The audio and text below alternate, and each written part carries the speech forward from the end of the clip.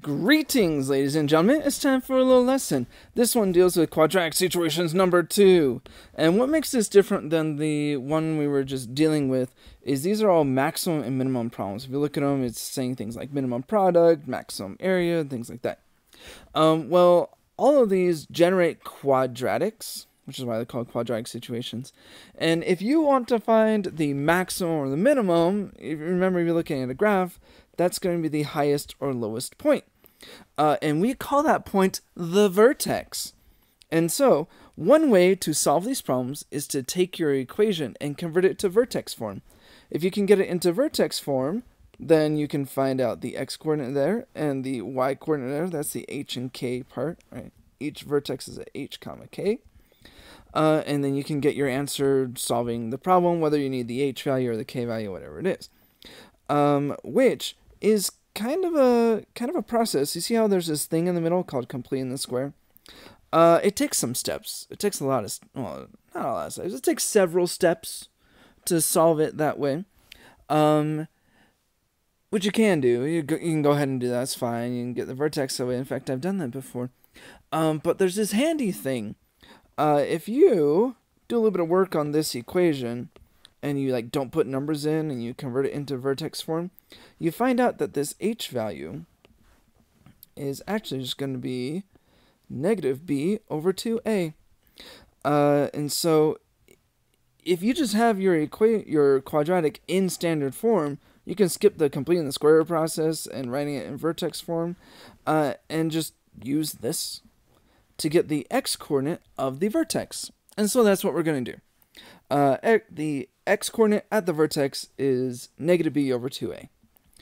Uh, and so let's come down to a problem. You know, let's start kind of in the middle here. Uh, number four. Uh, you decide to start making origami babies and start selling them at your local farmer's market. They're just origami, they're not real babies. Uh, through some clever market research, you have found that the number of origami babies you can sell today depends on how much you charge. You sell the difference between a hundred and the cost of your origami babies. What should you charge to get the most amount of money? So, um, how much should we charge? That's an unknown value. Let's just call that, I don't C, how much we charge, uh, how much we charge for the these babies. Um, well, this equation is about making the most amount of money. Well, when you make money, we usually call that profit. And that's how much you sell, like how many babies. Well, let's let's give that a, a variable like uh like how many babies uh origami babies you sell. And then you have to times that by how much you sell them for, which is the C value, how much we're charging people. Um, so this is kind of the, the basic equation. The profit equals how many you sell times how much you charge. Well, the problem with this is this has two different variables, and uh, we're not going to be able to get the maximum if we have two different variables here. There's actually infinitely many answers here, but luckily we have another constraint here, actually already underlined here. Uh, you sell the difference between a hundred and the cost of your origami babies, and so we're going to take that and turn it into an expression. How many we sell is the difference between a hundred and how much we charge for them, the cost of the babies. So we get a little expression that looks like this, a hundred minus C.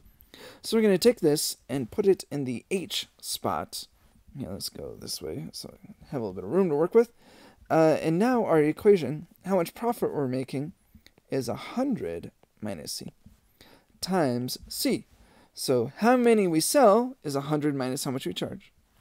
And then C is just how much we charge. And that's going to give us the profit um, or the, the proceeds of this or selling origami babies thing. And so now we have an expression here that only has one kind of variable. and so now we can turn this into standard form and use our handy dandy little bit of information here that x equals negative b over 2a to find the x coordinate at our vertex which in this case is going to be the c coordinate at our vertex, because this is functioning like x and this is functioning like y. Uh, so let's do some distribution. Let's simplify this down. I got p equals 100c minus c squared. And again, let's put this in standard form. So negative c squared goes first. And we got plus 100c. Uh, and normally there's a, a last term here. There's a constant term, uh, which there isn't. So we can like put a plus 0 there. It just means that c on the a, b, and c of our standard form, the, the c values. 0. Uh, but let's get rid of that. Uh, it is in standard form now. And now we just need to identify our a value and our b value, and we can get the c value. c, oh, sorry, let me change the zoom. c is going to equal negative b over 2a. So let's get those values. Here, there's the a value, and we got that a is negative 1, right? There's an invisible 1 in front of c squared. And then here is our b value. It's a positive 100, so b equals 100, not just zeros. And so we can plug those numbers in. So let's from here. c equals negative 100 over 2 times negative 1. And we do some simplifying. Negative 100 over negative 2. c comes out to be 50. All right, we have found the x coordinate of the vertex or just the c value at the, the, the vertex there. So this is going to be the maximum in this case because we're trying to find the maximum and it turns out to be a maximum. Uh, and it's this 50. But, you know, you're not done yet. You should probably interpret what this means and if it's our actually our answer. So you have to go back to what, what does C mean? Well, back here, luckily we labeled this.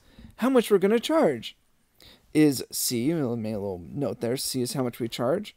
And the question was, how much should you charge to make the most amount of money? Hey, we found that. That's the C value at the maximum, and so we should charge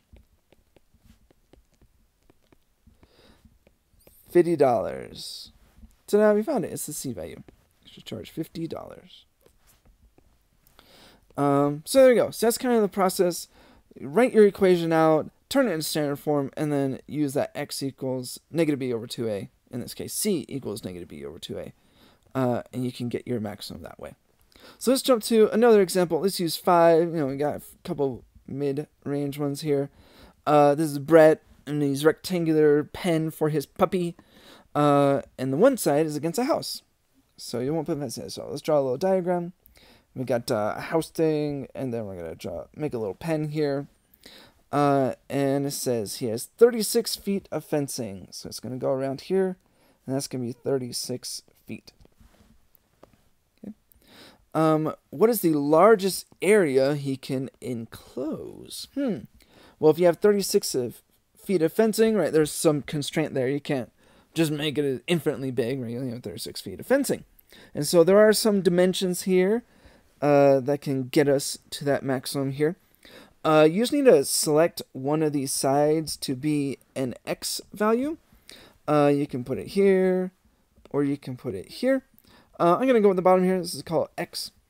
And one of the reasons I picked that is because these are actually the same value. If it's a rectangle, those are the same distance there. And that leaves us, well, what's the distance here? Well, if all the way around is 36, and we cut off, we use those two measurements there, what's left over is going to go here, which is going to be 36 minus the two parts, minus x and minus x, or combine them to make minus 2x. Uh, so now we have that. So we got some dimensions here, and we are trying to find the largest area. Remember, the area of any old rectangle is just base times height. Well, here's our base value and here's our height value. So let's go ahead and plug those in. The area is x times 36 minus 2x. And we have a lovely equation now. Instead of having two different variables, which would have infinitely many answers, we have only one kind of variable on the right side. And so this is only going to have one answer now, which means we could do some solving. Uh, and we need to find the largest area. So again, we're going to search for the maximum on this. And to get the maximum, we need it to be in standard form. So we're going to do some distribution here. We got the A is 36x minus 2x squared. Rearrange it a little bit so it's in standard form minus 2x squared plus 36x. And just like our last one, it doesn't have a constant term on the end. You can put like a plus zero, um, but we don't need it there just realize c is 0 in this case. sorry. Um, but now we can use our handy little formula. x equals negative b over 2a. Uh, and we need to identify our a and b values. Here's our a, here's our b. a is always with x squared, so a is negative 2. And b is always with the x term, so b is 36. So we're going to plug those in, and we got x equals negative 36 over 2 times negative 2 do a little bit of simplifying. We got negative 36 over negative 4, and we got that x is 9. Hopefully I didn't totally screw that up. Yay, multiplication effects. So we got x is 9. And just like the last problem, we need to figure out if this, like, is this our answer? Is our answer 9? And we have to remember what x stands for. In this case, x is just how wide this is. And the problem is asking, what's the largest area? This length is not the area. What we need to do is actually compute the area. And so we need to take this 9 and actually just plug it in to our area formula to get the maximum area because that's what this is all about. This is an area formula and we found the x value that gives us the maximum or it's the vertex. And so we're going to take our area formula and plug in x. Uh, you can plug it into any of these three here. Um, I think the first one's kind of the nicest one. So we got 9, and then 36 minus 2 times 2 times 9. It's a 9. Uh, we're going to do some simplifying here. We got 9 times, let's see, 2 times 9 is 18. 36 minus 18 is, well, 18. And so now we got 9 times 18. Calculators are really good at stuff like this. We got maximum area is 162. And I believe this is in feet. So we'll put the feet on it, square feet. And now we found the answer, which was looking for the maximum area. So realize when you get an answer, you should look at like what it means and if it's your actual answer. In this case, it wasn't. In the previous problem, it was. So just be cog- cognizant of like what do you what the things stand for, and that'll help you make sure you're getting the answer. So there you go. A couple examples from quadratic situations number two using this strategy, using this little formula of x equals negative b over 2a can help you find your maximum min. Good luck.